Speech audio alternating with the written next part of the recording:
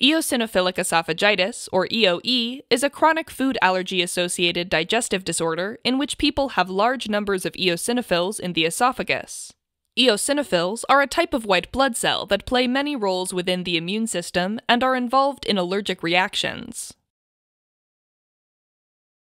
Signs and symptoms of eosinophilic esophagitis can vary quite a bit and are frequently the same as those for gastroesophageal reflux disease, also known as GERD. These symptoms are caused by increased inflammation and swelling within the esophagus and include trouble swallowing, food getting stuck in the throat, nausea, vomiting, poor growth in childhood, weight loss, stomach pain, poor appetite, and malnutrition. The increase in eosinophils in the esophagus can be caused by a number of things, particularly hypersensitivity reactions or changes to the expression of certain genes. The hypersensitivity reactions involved are a form of allergic reaction after exposure to a food or environmental allergen. When certain cells come in contact with the allergen, they signal other cells, most commonly eosinophils, to accumulate and get activated in the esophagus. The first exposure to an allergen may take time to create a response.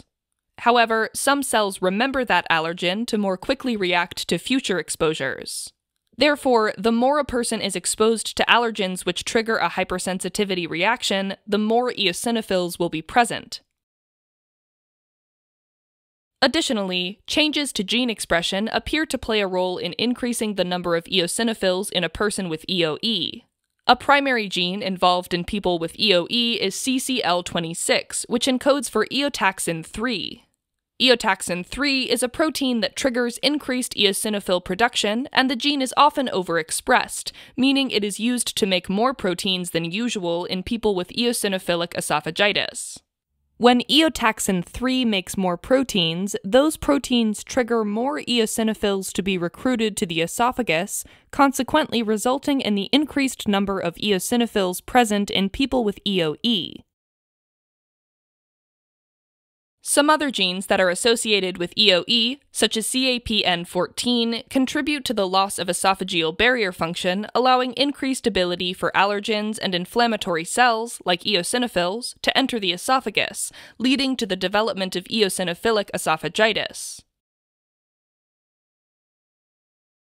Genetic factors are important in EOE, as demonstrated by twin studies which show a high rate of EOE in both twins, but this is not 100%, and environmental factors, especially early life exposures, play a role in developing eosinophilic esophagitis. EOE is typically not passed on within families, and the risk for family members of a person with EOE to develop EOE is less than 5% unless there is an affected twin. Eosinophilic esophagitis is diagnosed based upon endoscopic evaluation in a patient with clinical symptoms. During the upper endoscopy, a procedure in which a small, flexible tube with a camera is placed down a person's throat to take pictures and remove tissue samples of the upper gastrointestinal tract and esophagus, the number of eosinophils in the esophagus are quantified by a pathologist. If the level is at least 15 eosinophils per high powered microscopic field, then EOE is diagnosed. Testing can also be done to determine if there is altered expression of genes such as CCL26 that play a role in eosinophilic esophagitis. Eosinophilic esophagitis can usually be treated by taking a proton pump inhibitor pill to decrease inflammation in the esophagus, as well as avoiding common food allergens such as milk, soy, eggs, wheat, nuts, and fish.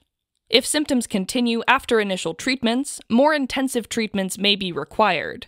These other treatments include prescription steroids to further reduce inflammation and inserting a feeding tube to provide all meals in a liquid form directly into the stomach to avoid the esophagus coming in contact with any potential allergens.